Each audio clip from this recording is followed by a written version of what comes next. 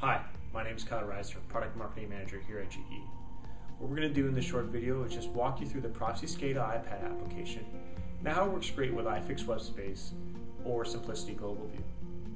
The first step you want to do is launch the App Store, go into the search toolbar, type Proficy, and your first hit you'll see is Proficy SCADA.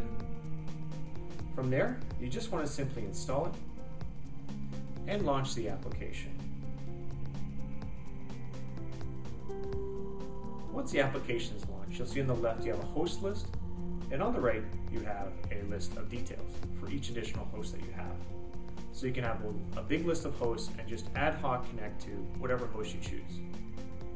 So in this case, we're going to type in 107 as the line, last IP number, and the username and password, and in this case we're entering the administrator and, and the password. So what you'll see is a slew of different options. We can auto launch to a specific part into the project. In this case, we've set up demo as the auto launch point on the server.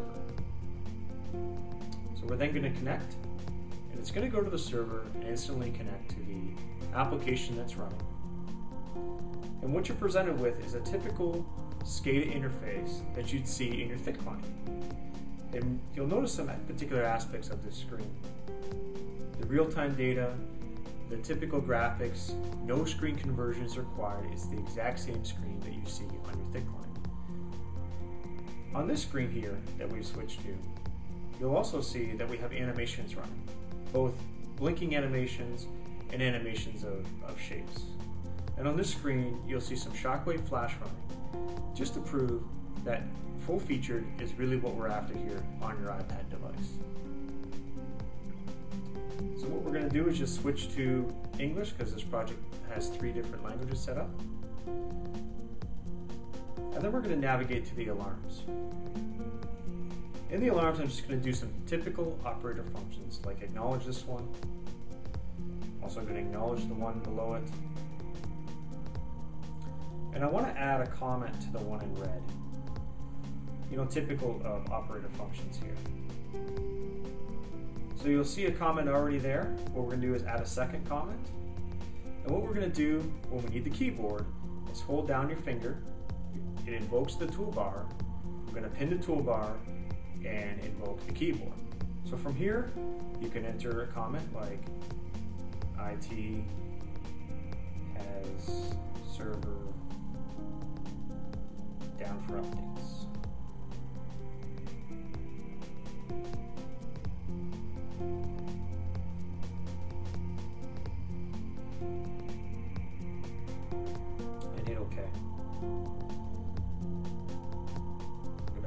Disable the keyboard.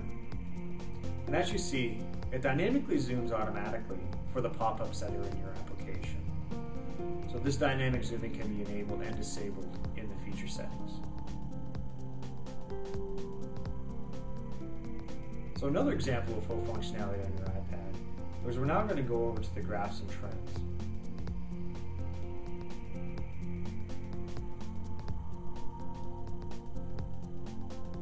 So within the graphs and trends, we're just showing a little pinch and zoom here so you can really zoom right into the actual section of the screen that you wish to see. We're showing real-time trends, but of course the same functionality works with historical trends or however you set up your application.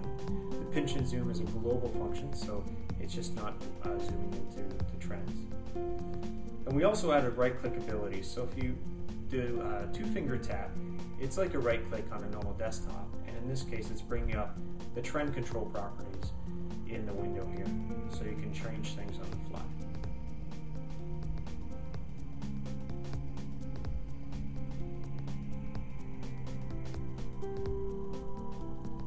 So in addition to this, what we do is once you disconnect from the server, um, it saves all your particular settings, and you can add favorites, rename them.